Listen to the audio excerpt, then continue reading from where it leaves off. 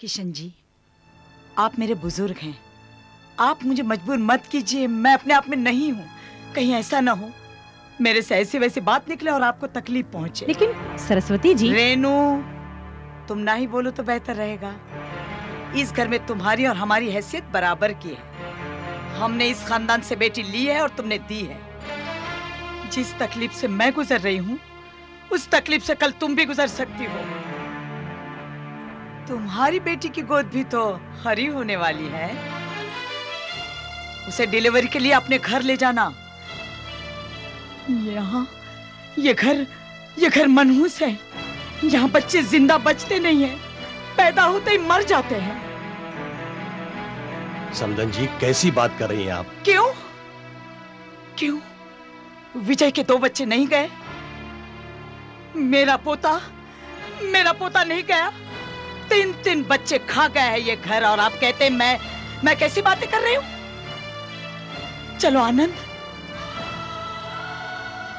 आओ गीता। गीता बेटी।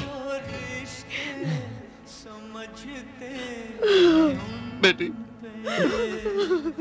आसमां से दुआएँ हैं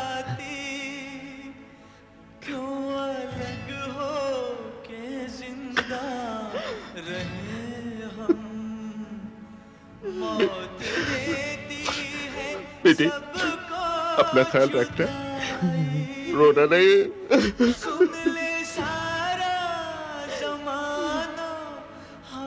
चलो गीता।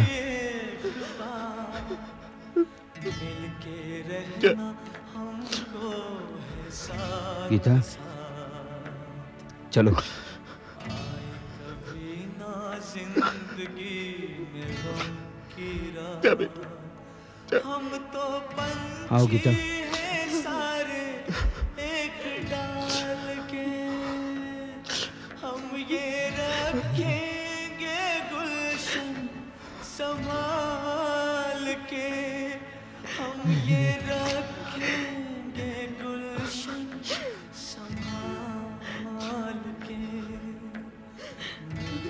पंछी हैं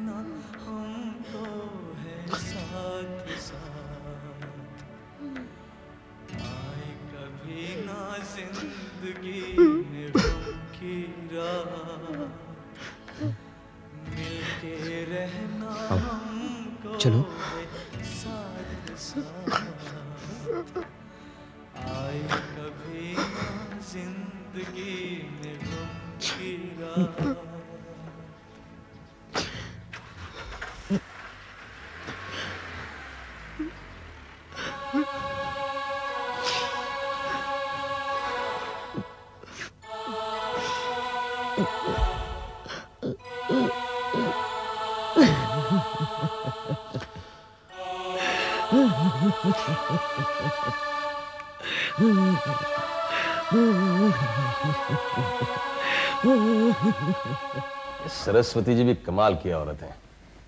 एक मिनट नाक पे मक्खी बैठने नहीं देती। अब मैं बुज़ुर्ग हूँ, तुम्हारा बड़ा भाई हूँ। कम से कम मेरा मान तो रखो। लेकिन इतना समझाने पर भी वो टस से मस नहीं हुई। उन्हें कोई नहीं समझा सकता ताऊ जी। माँ की पुरानी सहेलियाँ हैं लेकिन इस वक्त ऐसे बिहेव कर रही हैं जैसे माँ से उनकी कभी पहचान ही नहीं थी। खैर छोड़ो अब। निर्मल नर्मदा सुबह से दिखाई नहीं दी। कमरे में बैठी। कमरे में? कमरे में क्या कर रही? है सब लोग बाहर हैं वो अकेली कमरे में क्या कर रही है? भाई तुम्हारी घरवाली का मिजाज कुछ समझ में नहीं आया और राम जरा शकुंतला का ख्याल रखो। एकदम टूट चुकी है। कहीं ऐसा ना हो, ये सदमा वो दिल पर लेके बैठ जाए। जी भाई साहब।